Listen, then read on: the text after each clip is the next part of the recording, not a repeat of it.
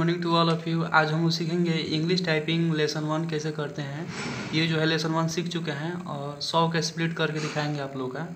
आप लोग देखिए और इनसे सीखिए कि टाइपिंग कैसे करते हैं। चलिए स्टार्ट कीजिए।